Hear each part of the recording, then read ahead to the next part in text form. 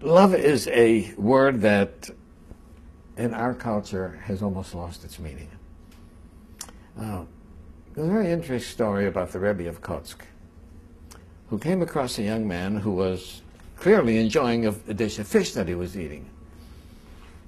And he said, uh, young man, why are you eating that fish? And the young man says, because I love fish. He says, oh, you love the fish. That's why you took it out of the water and killed it and boiled it. He said, don't tell me you love the fish. You love yourself. And because the fish tastes good to you, therefore you took it out of the water and killed it and boiled it. So much of what is love, right, is fish love.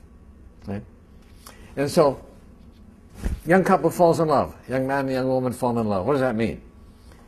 That means that he saw in this woman someone who he felt could provide him with all of his physical and emotional needs. And she felt in this man somebody she feels that she can write. That was love.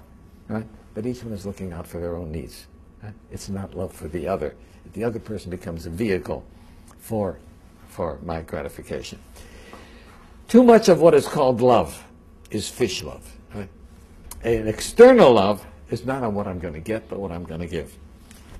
We had an ethicist, Rabbi Dessler, who said the people make a serious mistake in thinking that you give to those whom you love.